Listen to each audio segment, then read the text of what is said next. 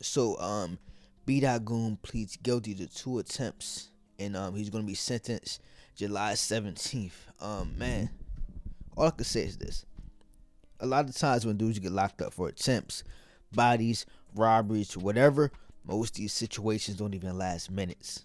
Most of them don't even last a full minute.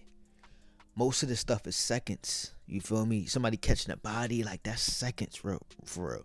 You feel me? Somebody doing a robbery, that don't take that long. None of these crimes don't really take that long. People be in and out. So let's say B dot. Okay, let's say he did do this, even though he pleaded guilty. But right, let's say he did do this, right? How long did it take to spin on different people? You feel me? Right, let's say he spun on two people. Let, let's say he spent four minutes spinning on his ops. Now he better do 10 to 20 years over four minutes. The time does not make sense. On top of that, you didn't get no bag. At least if my man's rob a bank and get locked up, that's dumb. He robbed a bank. Like you're an idiot, but I respect it because he not trying to hurt nobody. At least he trying to go get that bag. You feel me? BDOT Goon out here chasing dudes outside the courthouse, spinning on ops, looking for wreck. This was bound to happen. And you know what? It's gonna sound crazy, but I'm happy this happened. Cause bro was obviously looking for this to happen. He wanted this to happen. I don't want to see no young dude in jail, but he begged for this, dog. He begged for this. But outside of all of that, I'm gonna still keep it solid, dog. Free B goon. Keep your head up. I'm gonna keep you in my prayers, dog. Hopefully you can get your mind straight when you come out. Hopefully they don't lock you up for that long because you are young and young people do make mistakes, bro. We all make mistakes. I cannot judge you. I made mistakes too. I ain't never do nothing like that, but I made a lot of mistakes in life, bro. And when you come home, just be a regular dude. No need to be super tough. Be about your money. That's it.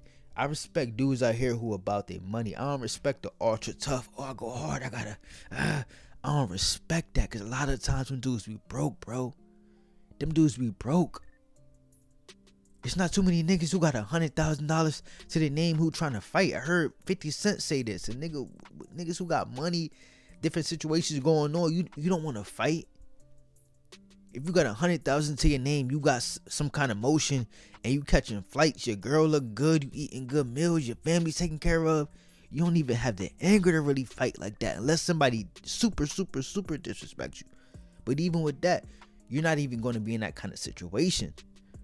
You know, so it's sad seeing these dudes try to be so OG, so gangster. Bro, go for a walk.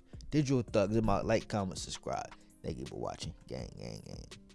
Hey, yo, you, you right there, you listening right now. Follow me on the gram, bro, at Digital Thugz underscore. I'm trying to get to 500 followers, trying to get out my mama basement. You feel me? So follow me on the gram for all Bronx drill news, all New York news, anything funny, whatever.